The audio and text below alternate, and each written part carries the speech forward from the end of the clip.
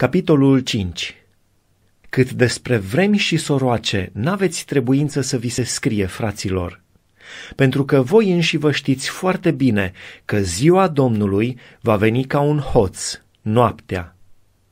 Când vor zice pace și liniște, atunci o prăpădenie neașteptată va veni peste ei, ca durerile nașterii peste femeia însărcinată, și nu va fi chip de scăpare. Dar voi, fraților, nu sunteți în întuneric, pentru ca ziua aceea să vă prindă ca un hoț. Voi toți sunteți fii ai luminii și fii ai zilei. Noi nu suntem ai nopții, nici ai întunericului. De aceea să nu dormim ca ceilalți, ci să veghem și să fim treji. Căci cei ce dorm, dorm noaptea și cei ce se îmbată, se îmbată noaptea. Dar noi, care suntem fii ai zilei, să fim treji, să ne îmbrăcăm cu platoșa credinței și a dragostei și să avem drept coif nădejdea mântuirii.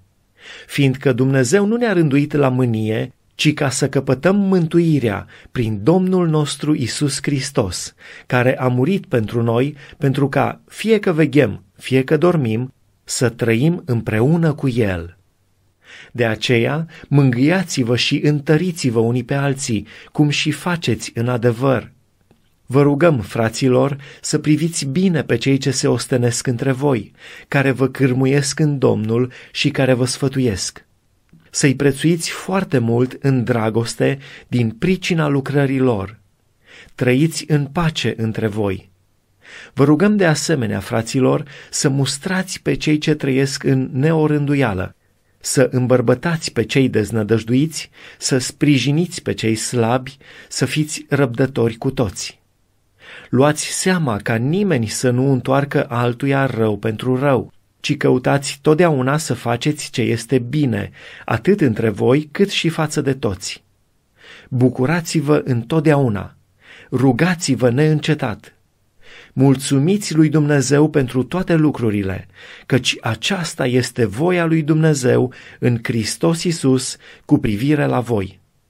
Nu stingeți Duhul, nu disprețuiți prorociile, ci cercetați toate lucrurile și păstrați ce este bun. Feriți-vă de orice se pare rău. Dumnezeul păcii să vă sfințească El însuși pe deplin și Duhul vostru, sufletul vostru și trupul vostru să fie păzite întregi, fără prihană, la venirea Domnului nostru Isus Hristos. Cel ce v-a chemat este credincios și va face lucrul acesta. Fraților, rugați-vă pentru noi. Spuneți sănătate tuturor fraților cu o sărutare sfântă.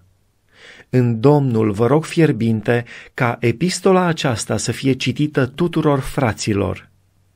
Harul Domnului nostru Isus Hristos să fie cu voi cu toți. Amin.